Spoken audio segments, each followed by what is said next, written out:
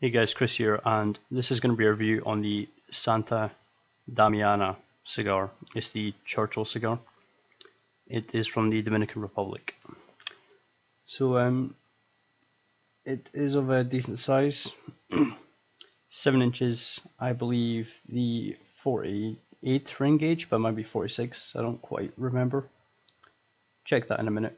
But it says Santa Damiana and uh, Dominican Republic it also says hand rolled there. I'm not sure if the focus is going to quite work. But um, yeah, when I first got this, it was. I'm not sure if you can hear that, but it's brick hard. Um, you know, just having a look around it, everything about it seems fine. I think the wrapper is probably just very, very thick, pretty solid. It's been uh, it's been in the humidor for a little while, so it should be completely fine you might be able to see on the wrapper it looks very very smooth. Very smooth very solid. So uh, I'm guessing you know good construction. Not a cheap cigar so uh, you would expect something a bit more than that. So let's just double check on that size. Yep ring gauge 48 7 inches. So let's uh, let's see what this cigar's like. Barely any smell. A little bit of light earthiness I guess you know the usual things you get. You never get too much from the initial smell, I guess. Some cigars that don't, sorry, some cigars that aren't that potent tend to have uh, some pretty good tastes. Little bit of a rip there, but I am not bothered. That is quite a deep cap. I'm not quite sure you can see that. Probably about a millimeter deep a little bit deeper than usual. Also, while we're at it, as you can see on the foot, it doesn't look like there's much blending going on between different tobacco colours there, so uh, hopefully it's a very consistent cigar.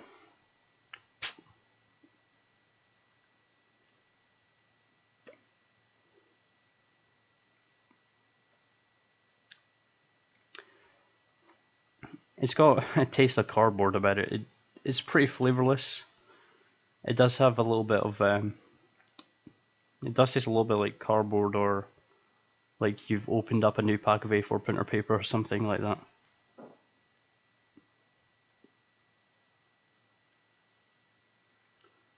Yeah, I wouldn't quite say stale.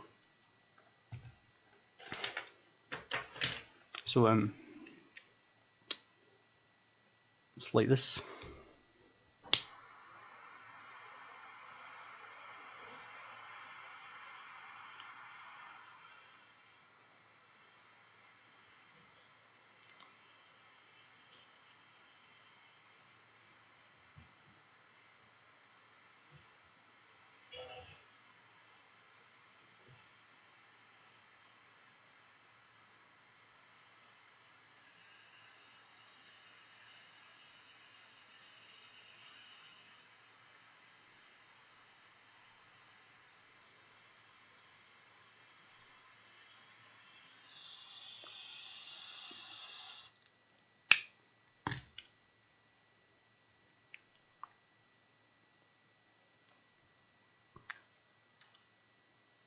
If you're uh, familiar with Dominican cigars, they tend to have quite a specific flavor profile. It tastes similar to the Peruvian blends you get if you've tried the Inca Secret Blend cigars.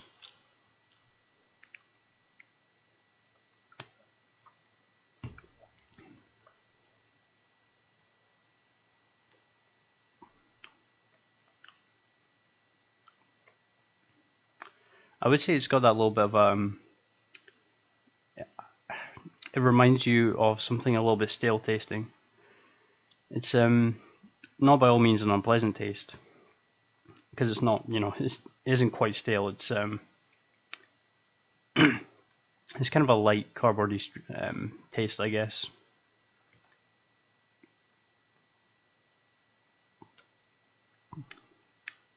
That airflow is pretty perfect for me. It's um, right down the middle. That is a very, very, very good. That is a good um, light, easy, uncomplicated mix.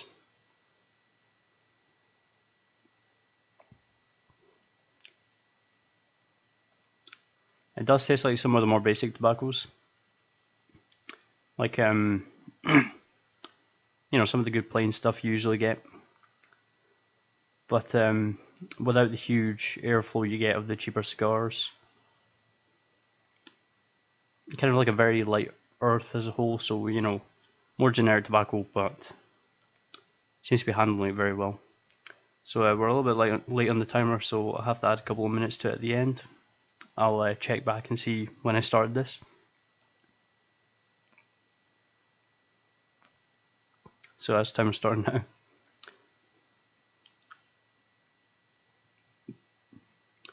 Very uncomplicated earth. A little bit nutty.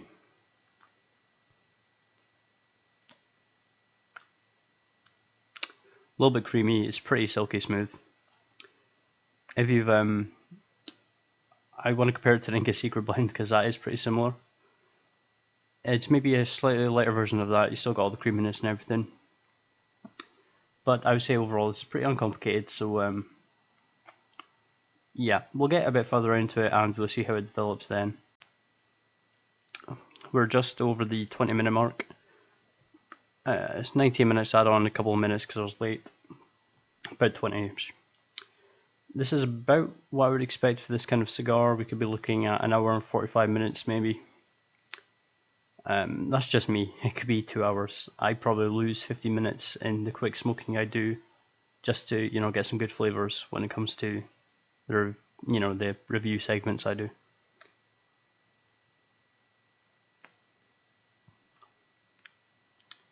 Decent amount of smoke. Very creamy, very nutty. The ash on this is actually looking pretty good. Staying together pretty well. No problems with that at all. No problems in the burn. That that stayed pretty yeah, pretty consistent the whole way. It's not really changed at all. Scar self still feels you know quite good. There's no uh, nasty spices or anything hiding in it.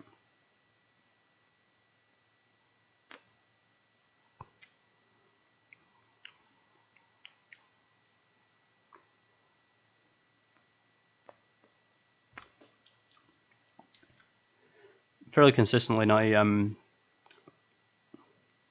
maybe a little stronger than the very started. Definitely a little bit stronger than the very start. That's just, you know, a little bit extra nuttiness, maybe a little bit extra earthiness. Still very silky smooth.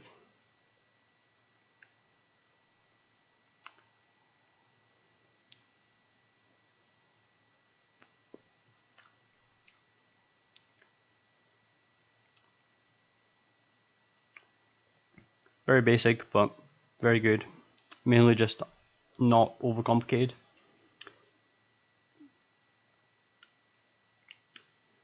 I think if this remains as consistent as I think it's going to be, this is going to end up a very good cigar, but that, that relies on more things over time. We'll have to give it a bit more time, get further down the cigar.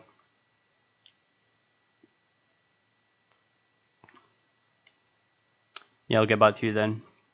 There might be a little note of peat in this, but nothing too much. I'll see you in the next segment of this video. So um, we are just past the 40 minute mark. Yeah. And um, we're still only about halfway in. It's, it's doing pretty good. If this is an hour and a half hour, 45 minutes, I would say it's easily a two hour cigar. The ash we initially had was about a good two inches. That was a good uh, long lasting ash. Seems to be pretty strong. It's a good long filler, I think. Burn still exceedingly well, no problems at all there.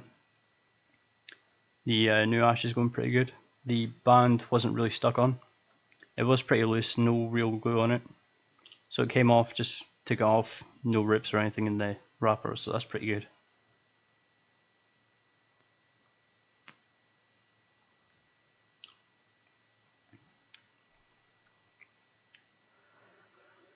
I want to say it's got a little bit of a tangier nutty flavour.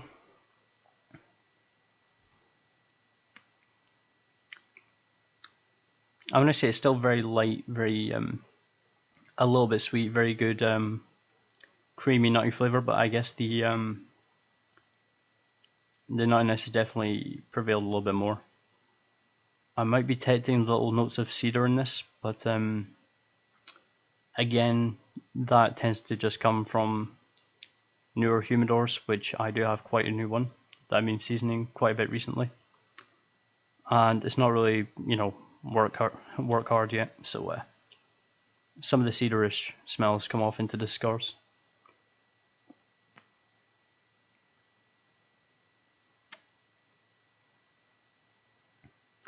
On the retrohale, I tend to always taste a good bit of chocolate. This is no exception. It's such a good light cocoa taste, I guess.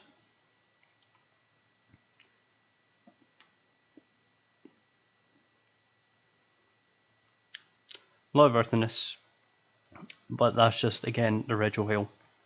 Retrohales always give you a very good perspective on cigars if they're particularly light, if it's a very strong cigar, you're going to be crying if you keep retrohaling them. So, uh, yeah, I want to be careful there. But no, this one's quite good. It's still relatively light.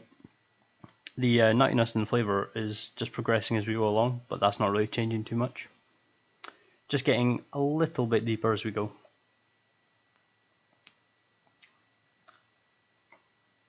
Yeah, still very smooth, very nice. Let's just go to the cigars page. I would like to point out the uh, price of these cigars. They are quite expensive, £13.69. That can get you a good Cuban. So um, I do agree with these reviews so far. I, you're paying a lot, but you're getting a lot. We haven't finished this cigar yet, so let's not see. Uh, a flavour set to light to medium. Yes, definitely on the very light side of that. Length 7 inches ring gauge of 48 and this is the single cigar version. I believe there's boxes of these. Um, Dominican Republic next to Cuba.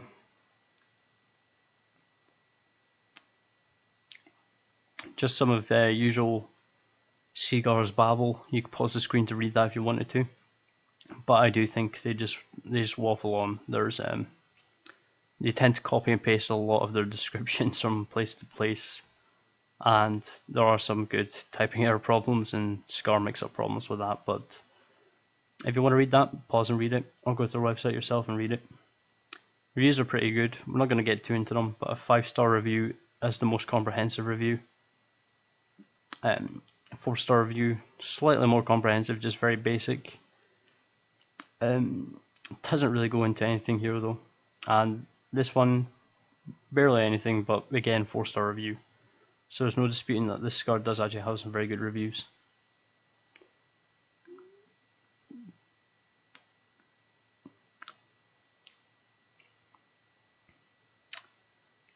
Very nice um, sort of aromatic creaminess. I would say there might be a tiny hint of peat in there that just adds to the sweetness but nothing too spectacular. I believe we are 45 minutes into it, yes. And um, yeah, I'm going to make our way down a little bit more and I'll get back to you on the next segment. Maybe another one or two segments before we get to the end section. So we're now in. And um, not much difference at all, to be honest. I mean, the flavors are picked up in terms of strength over time. I still wouldn't say this constitutes even a medium.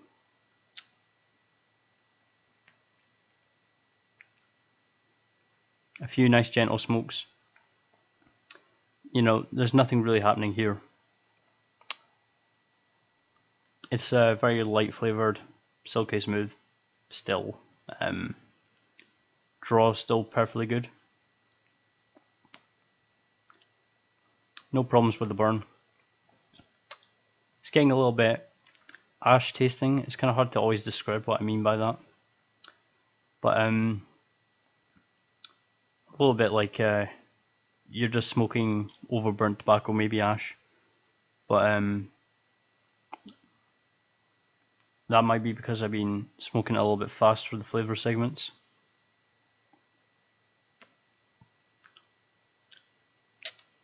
That's still a very good solid nuttiness though that's really the only flavour I could get out of this, um, aside from being just very creamy overall.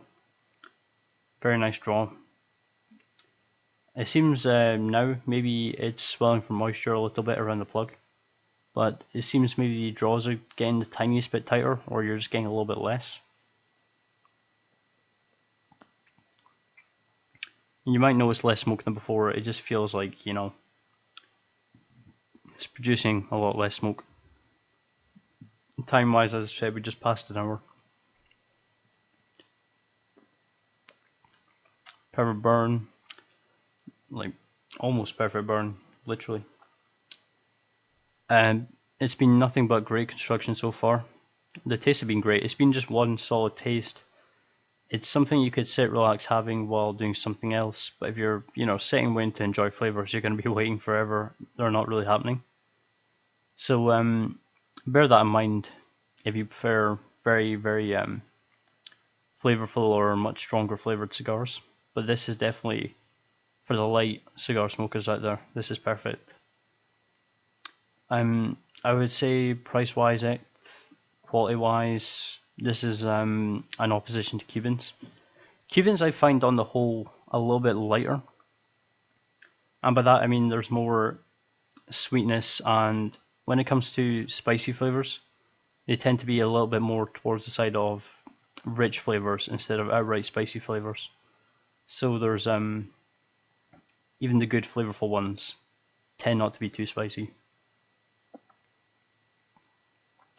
I say this is um sort of like a counterpart to it because this is um around about the same price. It's a very good construction, what you would expect from a decent Cuban. Um, but it is Dominican and it's very good. Flavors again, as I said, very light. So um, yeah, with Cubans you tend to get a decent bit more richness, I find as a whole.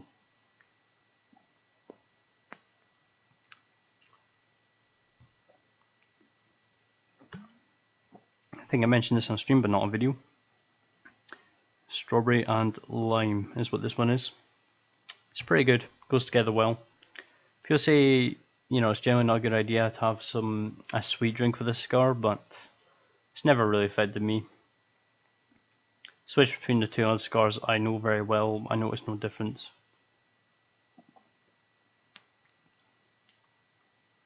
It's good clean on the palate. This um, quite quite fond of these um, copper cider bottles now. Only really had the cans before.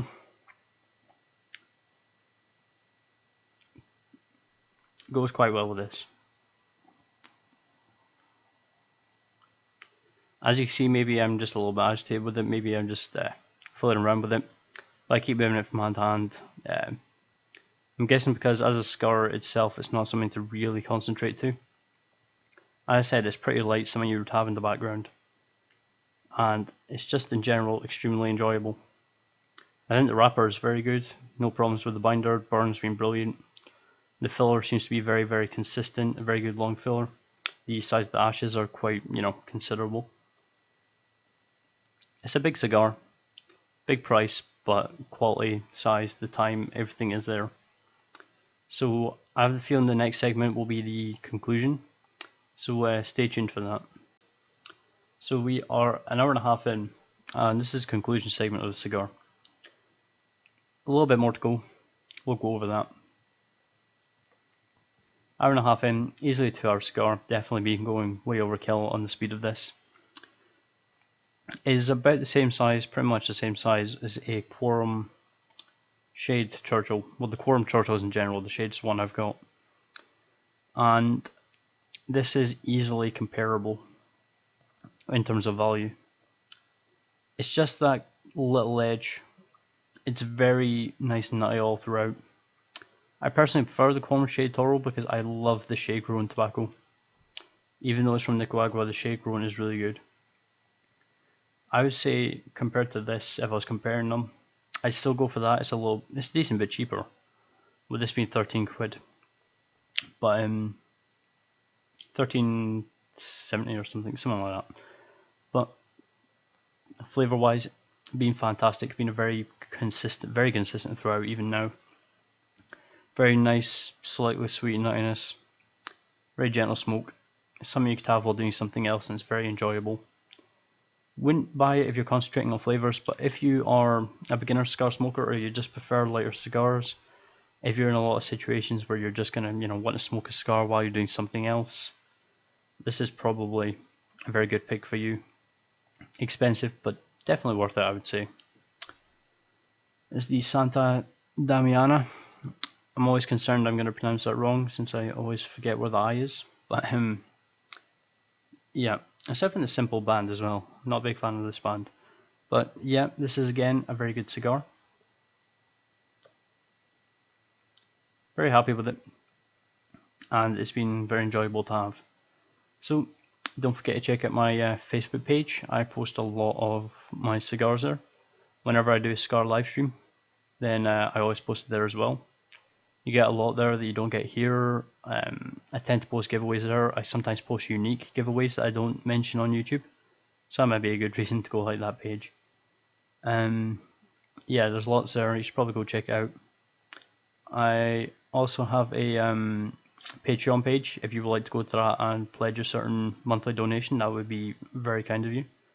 It'd be appreciated. That's something I set up a long time ago. Never really talked about. Revived quite recently, and that's just to raise some money to buy some scars I wouldn't normally buy. Just some good, unique ones to review. That sort of stuff. So you could also check that out. Links to both those in the description. Uh, I bought this on CGars, as I showed earlier, and the link to CGars is also in my description.